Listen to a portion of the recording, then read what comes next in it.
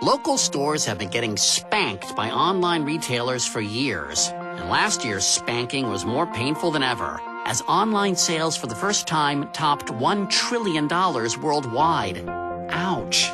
But in five years, brick and mortar stores will have fought back to become better than e-tailers can ever hope to be merging the tactility and immediacy of physical retail with the richness and personalization of online. Local shops will make online-only stores seem downright quaint.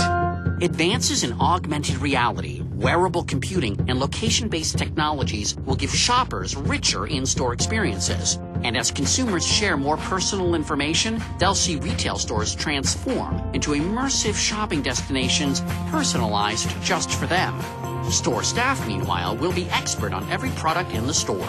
Buyers will tap cloud-based cognitive systems to get a clear understanding of their customers and plan store inventory more precisely. So you can be sure they have just your style and just your size and can even offer same-day delivery wherever you are. Honey, does this future make me look fat? Not at all.